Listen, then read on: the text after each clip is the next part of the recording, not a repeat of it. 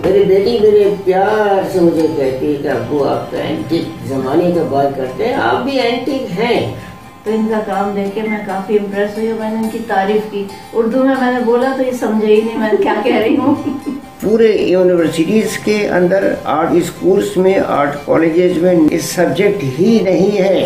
इन्हें नोकझोंक करने नहीं आती। मैं बहुत चाहती हूँ थोड़ी नोकझोंक करो ये बहुत ही फॉर्मल है। हम we must feel proud of greatest mountain of the world we have in my country ये पाकिस्तान बनाया तब तो मैं पैदा हुई हूँ। अब इतनी गारंटी नहीं हूँ।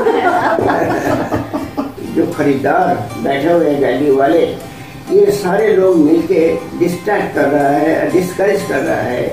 तो हमारे यहाँ पैसे की जबान समझते हैं और जिस सब्जेक्ट में जिस उसमें पैसा मिलता है नौकरी मिलती है तो उसको लोग जो है अपने बच्चों को चाहते हैं।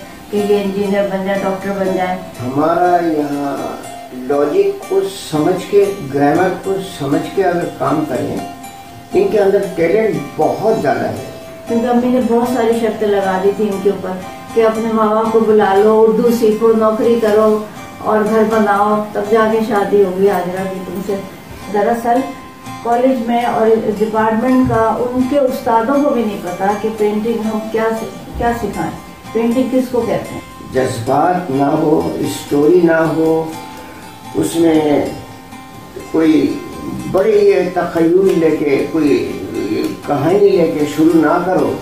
अगर इन सब चीज़ों के सारी चीज़ों को हम यकजा करके कोई शाहकार बना के दिखाएँ कोई चीज़ पेश करना चाहते हैं तो वो इंस्टॉलेशन है। बड़े फनकार बनने के लिए आपको तखलीक करने पड़ेगा। साइज़ के हिसाब से पेंटिंग बिक बिक रही है। और एक आर्टिस्ट के लिए एक ठप्पा लगा दिया गया इसकी पेंटिंग दस हज़ार की है हाँ। इसकी पेंटिंग तीन लाख की है इसकी पेंटिंग पाँच लाख की है। पूरी आर्ट काउंसिल खाली पड़ी थी पूरा कराची देख लिया कहीं पेंटिंग स्कल्पचर नज़र नहीं आते थे। तो आर्ट नहीं था आर्ट्स काउंसिल थी। मगर हमने बहुत मेहनत करके आर्ट को सारे पाकिस्तान में फैला ही दिया।